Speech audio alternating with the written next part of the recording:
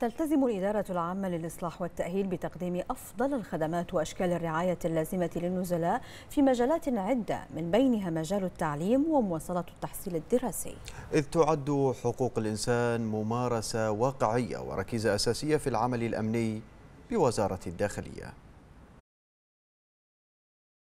يمثل الالتزام بقيم ومعايير حقوق الإنسان في معانيها السامية محورا أساسيا في تقديم كافة الخدمات وأشكال الرعاية للنزلاء وهو ما تلتزم به الإدارة العامة للإصلاح والتأهيل في إطار تطبيق قانون مؤسسات الإصلاح والتأهيل ولائحته التنفيذية.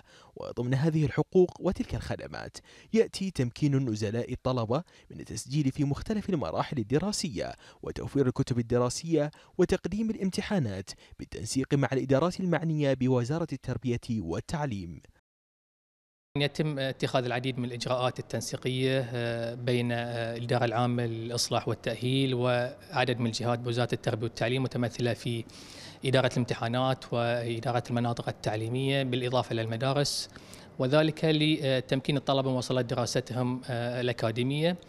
يمكن أولى هذه الخطوات تقوم إدارة الامتحانات سنويا بالإعلان عن فترة التسجيل المتاحة لهؤلاء الطلبة وإجراءات التسجيل. يلي بعد ذلك آه، إبلاغ النزلاء طلب النزلاء في مراكز الإصلاح والتأهيل بهذه الفترات والإجراءات الواجب اتخاذها. طبعا تتمثل الإجراءات في وجود استمارة مخصصة لذلك. إضافة لتوفير بعض المستندات المطلوبة. بعد أن يتم ملء هذه الاستمارة وتوفير المستندات المطلوبة تقوم إدارة الامتحانات بالتأكد من استيفاء جميع متطلبات التقديم آه، بعد ذلك طبعا آه، يتم آه، تحويل هذه الاستمارات على عدد من المراكز والتي تقوم بتسجيل الطلبة في مختلف المواد الدراسية المطلوبة على الطالب إنجازها في العام الأكاديمي. تهدف إدارة الإصلاح والتأهيل إلى إعداد النزلاء وتهيئتهم للانخراط بالمجتمع بعد انتهاء فترة محكوميتهم. ويعد التعليم هو الركيزة الأساسية لإصلاح الفرد وغرس روح الولاء والمواطنة. والتعليم هو حق تكفله مملكة البحرين لجميع المواطنين. وبناء على ذلك تقوم الإدارة بتقديم كافة التسهيلات التي تضمن للنزلاء استكمال دراستهم وتقديم الاختبارات النهائية في بيئة مناسبة حيث يتم التنسيق مع وزارة التربية والتعليم لتسجيل النزلاء بنظام المنازل وتوفير كافة الكتب والمناهج المقررة على النزلاء بالإضافة إلى تقديم الاختبارات النهائية تحت إشراف طاقم تعليمي. حبيت في البداية أشكر وزارة التربية على أعطانا الفرصة عشان نكمل امتحاناتنا نكمل آه، السنوات اللي راحت علينا. وترتيب وزارة التربية ما قصروا وزارة التربية أعطونا ترتيب حلو قدمنا امتحانات. وفي النهاية الحمد لله إحنا كنزلاء حصلنا فرصتنا. وبنخلص إن شاء الله هاي السنة الثانية أنا امتحن. امتحان كان سهل ترتيب حلو نظامي نظام آه، نظام جدا جميل مسوينه. والشباب ما قصروا معنا في في أعطانا يعني أعطونا فرصة أعطونا آه، سهلوا علينا وترتيبهم جميل. ورد أشكر أشكر وزارة التربية واللي جايين من وزارة التربية بعد ما قصروا.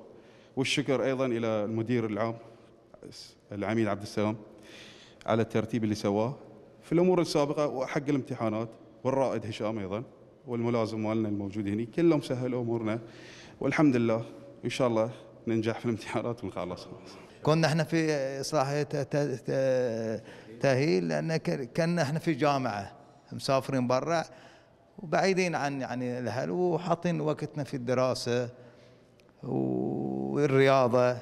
يعني بعد رياضة عندنا يعني فنس. والله أشكر وزارة الداخلية باتاحتنا يعني فرصة إحنا في مبنى التعافي و وموفرين لنا